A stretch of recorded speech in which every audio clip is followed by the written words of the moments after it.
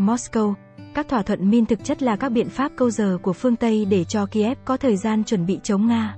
Bà Merkel không thể ngăn chặn xung đột Nga, Ukraine. Mới đây, cựu Thủ tướng Đức Angela Merkel nói với tờ báo Đức Digest rằng, bà vận dụng mọi cách trong nhiệm kỳ của mình nhằm ngăn chặn những mầm mống gây ra thảm họa chiến tranh Nga-Ukraine nhưng lực bất tòng tâm, để cuộc xung đột giữa hai nước láng giềng bùng phát. Tôi đã thử mọi cách có thể để ngăn chặn tình trạng này, xảy ra xung đột giữa hai nước nhưng không được. Việc thất bại không chứng tỏ rằng việc thử đó là sai, bà thừa nhận khi nói về những nỗ lực của Bộ Tứ Normandy trong việc đạt được những thỏa thuận ngừng bắn giữa chính quyền Kiev và lực lượng ly khai ở vùng Donbass, Ukraine. Khi được hỏi về thời điểm kết thúc cuộc xung đột ở Ukraine, nữ chính khách Đức cho biết, bà không muốn bình luận về chủ đề này, bởi không thể nói trước được tương lai như thế nào. Tuy nhiên, bà Angela Merkel cũng kêu gọi mọi người đừng suy nghĩ quá tiêu cực và hãy bắt đầu nghĩ về một viễn cảnh tốt đẹp hơn trong tương lai, trong đó có khả năng về các cuộc đàm phán hòa bình giữa Nga với Ukraine, tương tự như thỏa thuận Min 2 đã đạt được với định dạng Normandy gồm Bộ Tứ, Nga, Đức Pháp, Ukraine.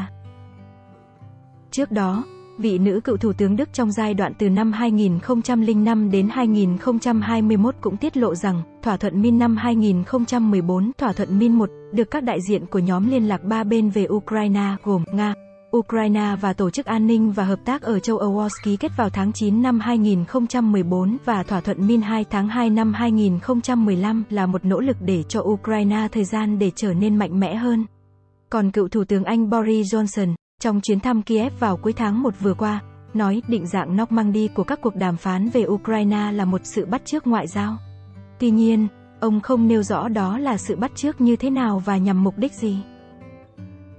Trong khi đó, Ngoại trưởng Nga Sergei Lavrov đã chỉ rõ bản chất của thỏa thuận Min đối với phương Tây là một sự câu giờ, các bên ký kết thỏa thuận Min, Pháp, Đức, Ukraine đã thẳng thắn thừa nhận những thỏa thuận này là cần thiết, để cả Kiev lẫn phương Tây có thời gian chuẩn bị cho một cuộc chiến chống lại người dân Donbass và Moscow. Điểm lại một số nội dung chính của thỏa thuận Min. Thỏa thuận Min một được các đại diện của nhóm liên lạc ba bên về Ukraine gồm Nga, Ukraine và Tổ chức An ninh và Hợp tác ở châu Âu, OSCE ký ngày mùng 5 tháng 9 năm 2014 tại Min, sau 5 tháng xảy ra xung đột khiến hơn 2.600 người thiệt mạng. Các điều khoản của Min một bao gồm trao đổi tù nhân, cung cấp viện trợ nhân đạo và rút vũ khí hạng nặng nhằm chấm dứt căng thẳng trong vùng Donbass. Tuy nhiên, thỏa thuận nhanh chóng đổ vỡ với sự vi phạm của cả chính quyền Kiev lẫn lực lượng ly khai Donetsk và Lugan. Thỏa thuận hòa bình Min 2 được nhóm bộ tứ Normandy thúc đẩy tại thủ đô của Belarus hồi tháng 2 năm 2015, nhằm kết thúc cuộc xung đột đẫm máu khi đó đã kéo dài 10 tháng ở miền đông Ukraine. Thỏa thuận này gồm 13 điểm, trong đó điều khoản hàng đầu là một lệnh ngừng bắn ngay lập tức, trong đó, các bên nhất trí rút vũ khí hạng nặng khỏi khu vực tiền tuyến, dưới sự giám sát của OSCE. Chính phủ Ukraine cũng nhất trí cải cách hiến pháp nhằm cấp quyền tự trị lớn hơn cho vùng Donbass vốn đã không còn nằm dưới sự kiểm soát của chính quyền trung ương.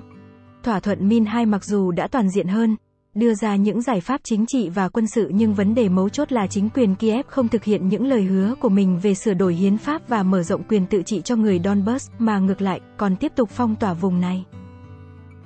Trong 7 năm trước khi xung đột Nga-Ukraine bùng phát, chính quyền Kiev tiếp tục củng cố quân đội, gia tăng binh lực đến miền đông Ukraine nhằm tiếp tục âm mưu giành lại vùng này bằng các biện pháp quân sự. Lệnh ngừng bắn mỗi năm bị vi phạm tới hàng nghìn lần.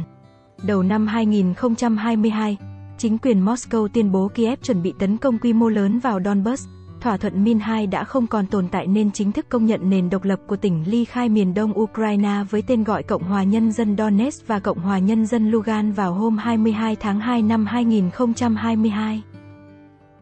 Theo phía Nga, để bảo vệ chính quyền và đại đa số dân chúng gốc Nga ở hai nước Cộng hòa ly khai khỏi nạn diệt chủng, đồng thời tiến hành ngăn chặn việc chính quyền Kiev đưa đất nước đi theo con đường phát xít hóa và âm mưu của NATO sử dụng lãnh thổ Ukraine làm bàn đạp để tấn công Nga. Chính quyền Moscow tuyên bố mở chiến dịch quân sự đặc biệt ở Ukraine vào ngày 24 tháng 2 năm 2022.